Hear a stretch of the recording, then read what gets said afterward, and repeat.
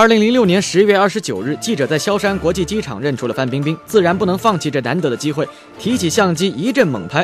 范冰冰见状，也随即拿起自己的相机跟记者对拍。该记者则认为范冰冰的举动有挑衅嫌疑，结果双方越闹越凶，范冰冰一怒飞脚踢向记者。因为我那穿的短裙，他有蹲下来。你一句话都不讲，拿出来就拍，而且在你不到半米的近距离，我觉得对我的人生是有威胁的。他拍了我真的无数次，而且每一次都在这个非常呃激烈的状况下。嗯，我跟你说不要拍，他还一直在拍，我觉得这非常的不友好。二零零四年十月，冯小刚在《天下无贼》首映宣传期间。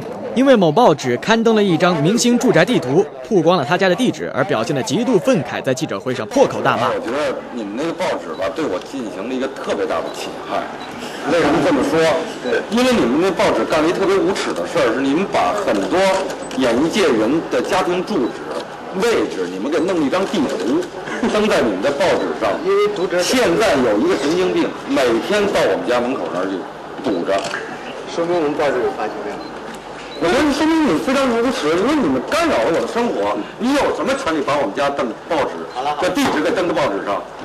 完全是一种混蛋的做法，你知道吗？你还是有发音量，我他妈想抽你，你信不信？哎，我稍微等一下啊，咱们这个活动，我永远不会接受这什么明星这个这个这个采访。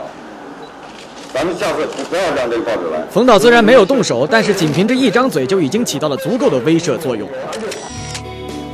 或许是受那句老话“君子动口不动手”的影响，当一名男明星将愤怒付诸暴行，人们对他的同情也会大打折扣。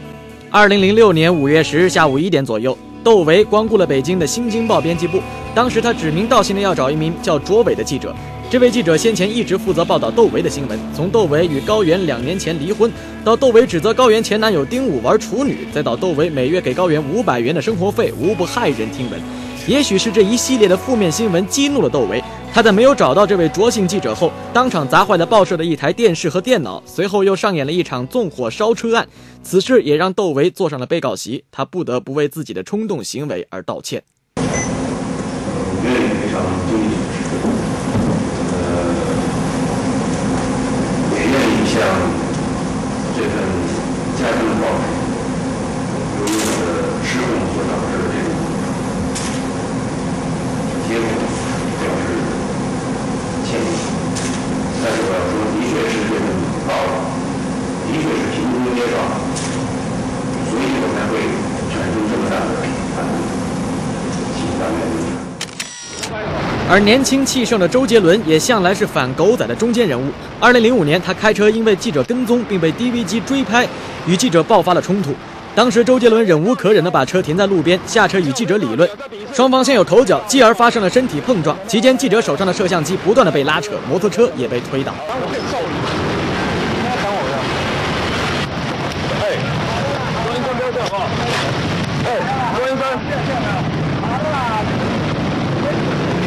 不要动粗好不好？好了好了，算了算了，你是偶像哎。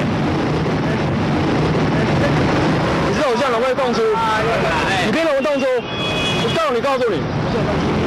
后来饱受狗仔侵扰之苦的周杰伦，以自己的亲身经历写下了一首四面楚歌，以供后人传唱。这也不失为一种巧妙的方法。